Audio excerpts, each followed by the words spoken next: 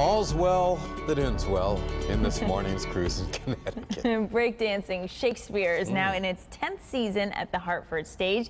News 8's Ryan Kristafer is here. Ryan, we've been laughing all morning. Oh, thank you very much. Well, I'm glad I can provide a little comical relief Yes. for you guys this morning. Good morning and good morning to you. This should be a unique one this morning. The Summer Arts Apprenticeship Program uh, for teenagers between the ages of 14 and 18 allows local students to take their talents all to the next level, all the way up. And I recently stopped by the rehearsal at the Hartford stage and surprised them with a little Shakespearean entrance, shall we say, in this morning's Cruisin' Connecticut. Give room and foot it, girls. Be gone. The spirits are the best. I so I fear the Moors, my unrest. Oh. To be or not to be? I'm ready, guys. Front, back, rock, rock, down. Yeah. Breakdancing Shakespeare is super cool, uh, super unique. We give you the words as Shakespeare wrote them. They pray, grant thou lest faith turn to despair. They replaced the the violence in the um, in the piece with breakdancing. You know, a lot of people think Shakespeare and they immediately think snooze fest. Yeah, it's boring. Um, so adding the breakdancing is a really good hook. Spin.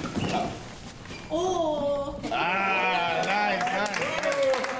opportunities are tremendous. Tis he that villain Romeo.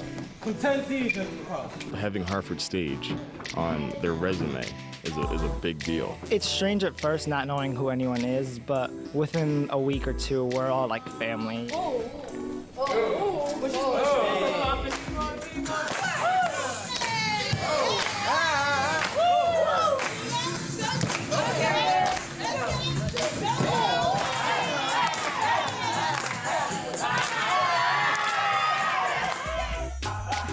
Oh, that'll wake you up there. Shall, shall we keep it going here a little, Laura? Come on, Laura. All right. Hey. Oh, what is that? Was like that? Is that? Get it over there, Gil. I got it.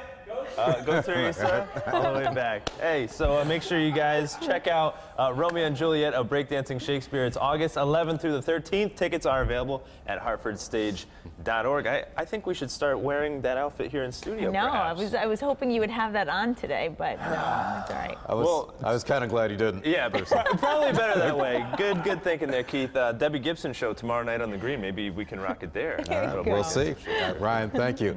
All right, you can see